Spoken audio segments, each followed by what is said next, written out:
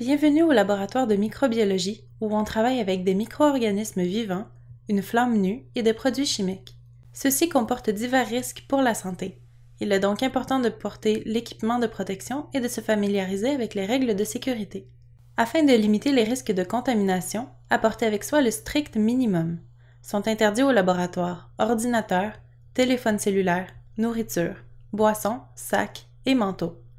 Ils doivent être déposés au casier ou dans la zone désignée du couloir. S'assurer que les jambes et pieds sont couverts. Attachez solidement les cheveux derrière la tête. Évitez également de porter des bijoux.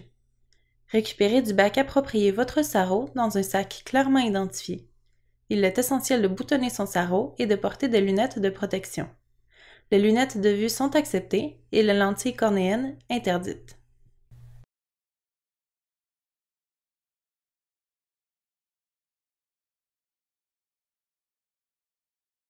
Dès votre entrée au laboratoire, localisez tous les équipements de sécurité.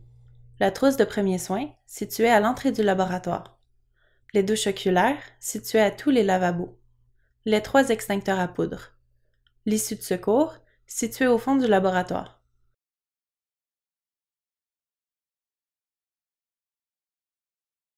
En cas d'évacuation, demeurez avec votre auxiliaire d'enseignement en tout temps.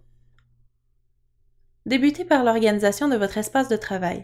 Divisez le matériel selon le moment où vous en aurez besoin et séparez le matériel stérile du matériel contaminé.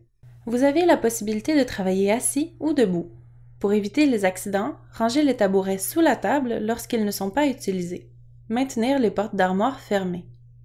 En cas d'accident, toujours avertir votre auxiliaire d'enseignement ou tout autre employé du laboratoire qui prendra les mesures nécessaires il est primordial de placer le matériel au bon endroit pour assurer une décontamination adéquate et pour assurer la sécurité de tous les utilisateurs du laboratoire. Déposer les pipettes sérologiques dans le cylindre à cet effet et les pipettes Pasteur dans les petits bacs de matériel à risque biologique. Lorsque le travail est terminé, rangez dans votre tiroir tout le matériel que vous y avez pris. Il ne devrait rester à votre espace de travail que le plateau en métal, le bec Bunsen et les supports à tubes. Toujours utiliser un support lorsque vous vous déplacez avec des tubes. Le déposer dans le bac désigné pour la décontamination. Les boîtes de pétri sont déposées dans les sacs pour matériel à risque biologique. Désinfectez votre espace de travail à l'aide de la solution nettoyante fournie. Lavez ses mains juste avant de quitter afin d'éviter d'amener avec soi les micro-organismes du laboratoire. La méthode à suivre se trouve dans votre manuel de TP et est affichée à différents endroits dans le laboratoire. À l'extérieur du laboratoire, retirez votre sarrau et vos lunettes de protection. Rangez votre sarrau plié dans un sac de plastique étanche et clairement identifié. Déposez le sac dans le bac approprié. Il pourra être récupéré à la prochaine séance.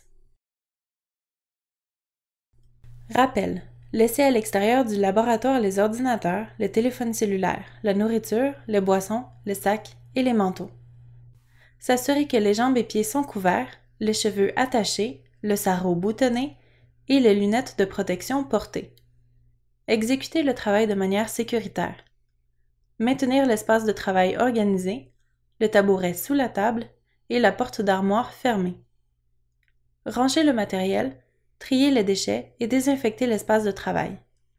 Laver ses mains avant de quitter. Ranger son sarrau dans un sac de plastique clairement identifié.